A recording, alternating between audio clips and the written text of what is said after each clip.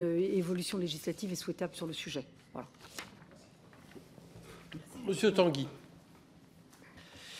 Merci, Monsieur le Président. Euh, bonsoir, la ministre. Merci. Euh, avec le collègue Lotio, on tient à saluer euh, la qualité des réponses que vous apportez à la Commission et, et au commissaire. C'est toujours très agréable et il faut le saluer quand le Parlement est respecté dans son travail de contrôle. Écoutez, Madame le Ministre, je ne vais pas perdre du temps sur nos désaccords sur le budget de l'audiovisuel public. Vous savez que nous souhaitons privatiser une grande partie. Je vais me concentrer sur d'autres questions. La première chose, c'est sur les, aides à la presse. Euh, on peut comprendre, on peut comprendre. Excusez-moi, chers collègues, je n'arrive même pas à entendre moi-même. Merci. Euh, on peut comprendre que fut un temps il fallait aider euh, la presse, bon, mais aucun secteur n'est voué à être subventionné pour l'éternité. Ça veut dire qu'il y a un problème structurel. Bon, par ailleurs, le secteur de la presse, il y a, une grande concentration capitalistique et d'actionnaires de, et des grands moyens. Moi, j'aimerais savoir quelle est la perspective pour la subvention à la presse. Il faut quand même trouver une solution. Et une fois de plus, ce n'est pas de, de l'idéologie, euh, c'est du pragmatisme et du bon sens économique. De la même façon, la TVA réduite sur les services d'abonnement à la télévision dans un cadre d'économie budgétaire. Moi, j'aimerais savoir s'il y a un retour sur cette mesure. Est-elle vraiment euh, utile et souhaitable une fois plus de façon pérenne On peut s'interroger. Je soutiens évidemment votre volonté d'accès à la culture.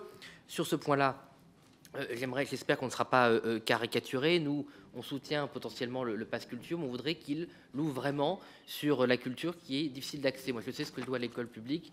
Euh, j'admire à titre personnel, si cela vous soucie, votre euh, parcours. Moi, je me souviens que euh, j'ai réussi à m'en sortir par l'école publique parce qu'on m'a ouvert sur la culture que je ne connaissais pas. Voilà. On peut avoir, notamment la concentration du pass culture dans certaines formes de culture, non pas qu'elle soit contestable, mais parce qu'il faut sortir tout le monde de sa zone de confort. Et je trouve que ça ne le fait pas assez.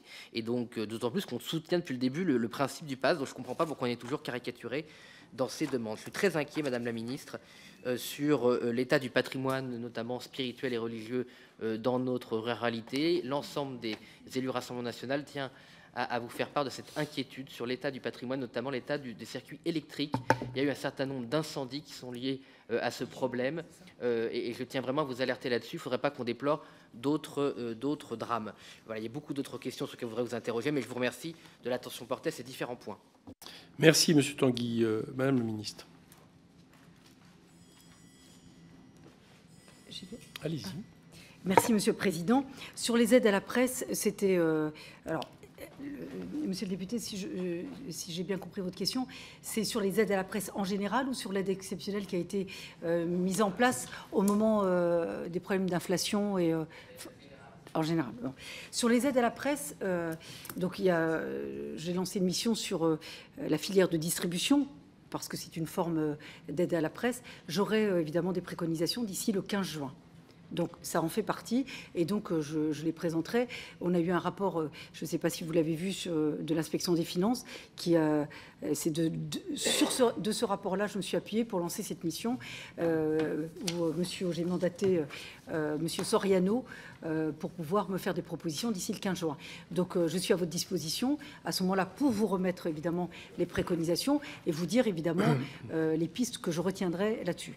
Là où je peux vous rejoindre, mais c'est comme pour le spectacle vivant, c'est qu'à un moment donné, quand vous avez structurellement euh, des modèles déficitaires, qu'ils soient d'ailleurs sur le spectacle vivant, sur la presse ou autre, on peut s'interroger sur le fonctionnement. Mais que nous ayons des aides à la presse, moi je trouve que c'est aussi le prix, euh, j'allais dire, c'est le prix de la démocratie, c'est le prix du pluralisme, c'est le prix aussi de la liberté d'expression. Donc moi, je, je ne suis pas anti-aide à la presse d'une manière générale. Vous pouvez avoir un titre déficitaire, mais qui est nécessaire à la démocratie, qui est nécessaire à la liberté d'expression. Ensuite, c'est de voir dans quelles circonstances et sur quels critères nous octroyons ces aides. Donc ça, moi, je suis à, votre disposition, parce que ce n'est pas la première fois qu'on m'interroge sur les critères d'attribution des aides. Et ça, je suis totalement, je rejoins, euh, et cette question, elle est légitime, puisque moi, j'ai aussi des citoyens qui m'interrogent sur les critères d'attribution des aides à la presse. Donc ça aussi, je suis à votre disposition pour vous répondre précisément sur ces critères. Sur euh, les aides exceptionnelles, elles sont nécessaires pour tous les secteurs. D'ailleurs, on l'a vu dans le cadre de tous les secteurs économiques pour euh, euh, parer à, l'augmentation des coûts et notamment à l'inflation qui, je le rappelle, pour 2023, elle était de près de, 5%. Donc ça, les critères, je peux vous les donner. Les, les filières sur, la, la, filière de distribution, je vous dis qui est liée aux aides à la presse, je vous donnerai les éléments à partir du 15 juin. Je suis à votre disposition.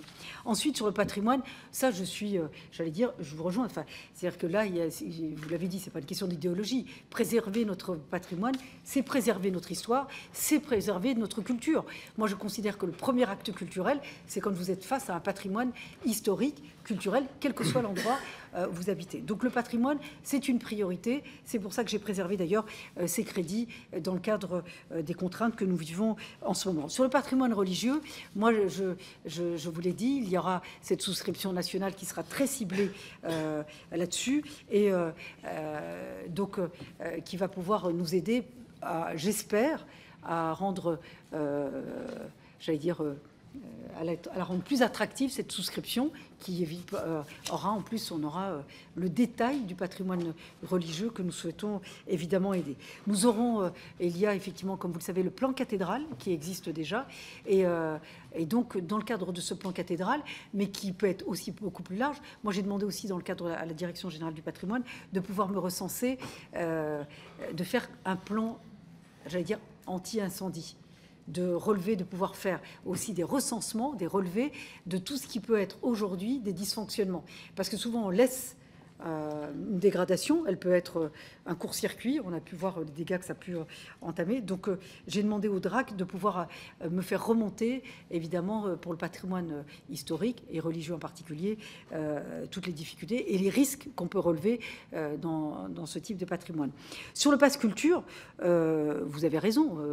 D'ailleurs, je l'ai dit, par exemple, sur la part collective qui marche très bien, c'est un moyen assez, euh, j'allais dire, intéressant d'accès à la culture.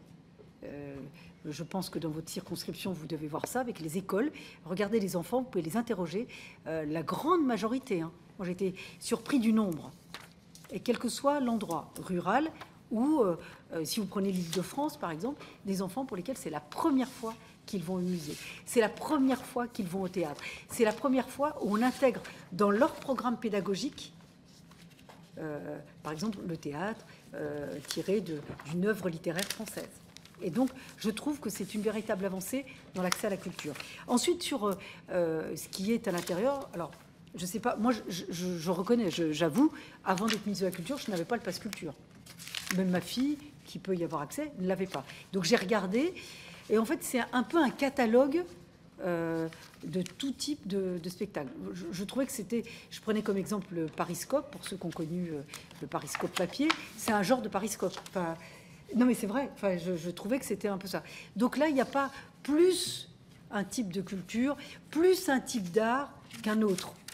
C'est, euh, vous pouvez trouver ce que vous voulez. Et là où je peux vous rejoindre, c'est ensuite c'est de flécher sur de la culture qui est, j'allais dire, qui participe à votre, à votre construction, qu'elle soit civique, qu'elle soit citoyenne, qu'elle soit aussi culturelle. Donc, euh, et c'est là-dessus euh, que je suis en train de, de rénover, de refonder le passe culture. Merci.